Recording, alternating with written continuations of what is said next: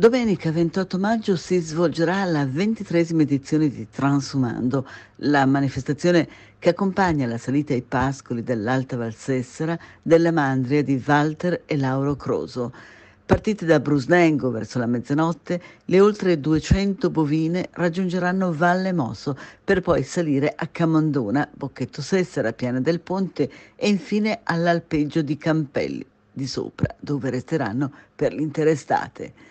e come da oltre vent'anni a questa parte, in collaborazione con Oasi Zegna, Comune di Valdilana e altre associazioni e istituzioni del territorio, il Dogby organizza per la giornata una serie di iniziative con l'intento di richiamare l'attenzione su una delle pratiche più identitarie della tradizione biellese. E se in passato la proposta per il pubblico era quella di seguire la mandria nel tratto Cerale Bocchetto Sessera,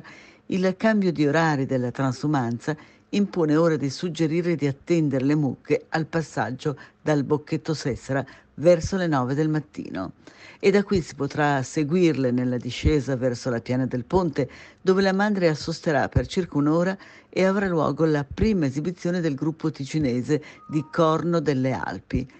a conclusione di questo concerto, quando le bestie riprenderanno il cammino, il pubblico potrà scegliere di rientrare al bocchetto o, nell'occorrenza della giornata nazionale delle miniere, visitare il sito archeominerario Rondolere e terminare dunque la mattinata con il pranzo negli agriturismi dell'Oa Zizegna.